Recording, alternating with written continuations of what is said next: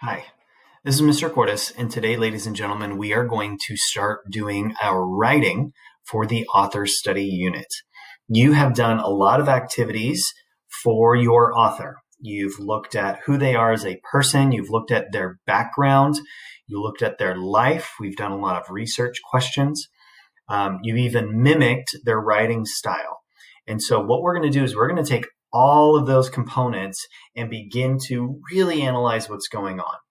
So you only have one body paragraph in front of you because I want us to concentrate and have the best analytical writing we possibly can. I don't want to tell you, hey, we're going to write, you know, three paragraphs and then have it all just be junk paragraphs because we're trying to just type and get words out. I would rather have quality over quantity. So this is where we sit. Okay. We will have an introduction paragraph that accompanies this. Um, however, this is our starting point, and we're actually today only going to work on two sentences. We're going to look at the author's style, and then we're going to look at analysis. And you will need to determine what goes on for your writing based upon the responses that you've done before. There was a question that was asked prior about like writing style and writing techniques and um, how that contributes to the message of the story. You're going to need to think back and we need to articulate. Articulate simply just means to explain ourselves well. Okay. If a, a, toddler or a small child came up to you and asked you a question, you need to articulate it well so that they understand. And that's our goal here with our two sentences. I know it seems like a lot, two sentences, but we've got to get through those two sentences and then we're going to build together. So here's the deal. You turn this in and you've got more than two sentences, I know that you did not watch this video. So we're writing two sentences and we will piece all of these together as we go. So the very first thing that I want us to look at is the writing style. Okay. This box right up here is where you're going to explain the author's unique style of writing. Now, that does not mean we are just going to bullet point, you know, long sentences, sophisticated word, casual conversation, uses metaphors. No. We need to have two to three sentences in this spot that really articulate what's going on. So if I was, let's say, I'm going to use Shakespeare as an example, explain the author's unique style of writing. I would say Shakespeare uses iambic pentameter to create um, scenes in his stories. He also, comma, you know, and he also uses very descriptive words uh, for his characters, right? I'm going to craft a sentence, a strong sentence that explains the writing style. So let's say that you're working with um, Maya Angelou. You want to say Maya Angelou's writing style embodies, takes on, discusses, conveys whatever verb you want to use, and then identify those different components. So for some of you, you may need to go back to the previous assignment where we listed those characteristics and you want to formulate a sentence. So what is the unique writing style of your author? What is unique about Edgar Allan Poe's writing? What is unique about Maya Angelou's writing? What is unique about Sandra Cisneros? Unique simply means what is what is purposeful, what is distinct, what is what is what is that author doing in his or her writing? Okay, so that's the first sentence that you'll need to craft. If you want to pause here and begin to write that sentence, please do so. But this one right here is where you give a quality sentence. It, if it needs to be two or three sentences, that's perfectly fine. You do not want a long run on sentence. You want one sentence um, that conveys what you need to. And if it needs to be multiple, then do that. Okay. No harm in identifying, you know, Edgar Allan Poe uses long sentences to, and then explain what it does. Okay. Um, Maya Angelou uses description to what? Okay. Uh, Sandra Cisneros adds in English and Spanish words to convey what? Um, kind of, kind of elaborate. So don't just simply tell me that um, uh, Edgar Allan Poe is a Gothic writer. That doesn't tell me much, right? Um, tell me that he's a Gothic writer who uses a lot of details, and then you go on from there. Okay. So that's your first sentence. Take a moment. I would, you need to have this sentence down first before you can get to your analysis sentence. Okay.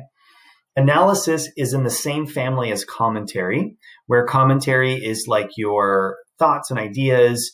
Um, you know, we've used the sentence starter. This shows that a lot. We're going to do the commentary later. Right now is analysis. So the analysis is understanding how that key component of writing style affects the bigger message or theme of the story. Okay. So how does a smaller component add to the bigger, bigger items? So when we were doing commentary, let's go back to like the most dangerous game way back when we would say that General Zaroff is savage because, and then explain why. Analysis means why is he savage and what does that tell us about the theme of our story? What does that tell us about who he is as a person and as a character? So when you have analysis, you're getting a little bit deeper to understand how that component works overall. So your little guide here says, explain how the author's style, the author's writing style, contributes to the story's message or theme. So now that's why this sentence needed to come first. So whatever you put here, let's say you put long descriptive sentences, okay, or short sentences with casual tone, okay, or metaphors, whatever you picked, how does that element contribute? Contribute could mean add to, help develop, um, enhance.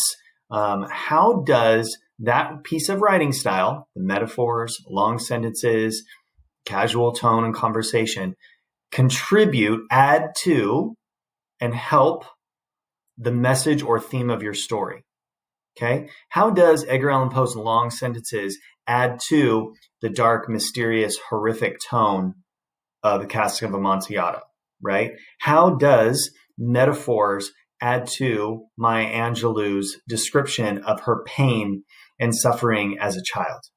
How does the incorporation of Spanish and English add to Sandra Cisneros' desire to hear her own voice in literature?